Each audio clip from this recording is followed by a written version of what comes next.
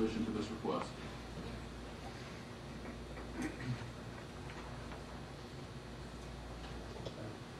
My Coons, eighty-eight eighty Golden Road, Uh, I'm opposed to the project on a totally different, totally different aspect.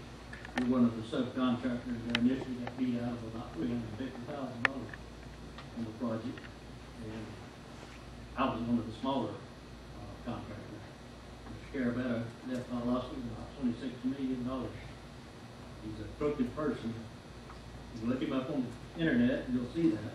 I'd hate, uh, for him to come to the house and hurt, hurt other people. Uh, There's rumors that he was gonna set aside some money of the, of the, uh, land sold and divide it up between the subcontractors. I don't believe him. I would have to see that first. The way I feel about it, we should get the money if that's true, and then run him out there. Terrible person. And I just gained a lot of respect for the Wallace Chamber of Commerce. And I just Thank you for coming up. Thank you very much. Are are there any questions for the speaker? Not, thank you.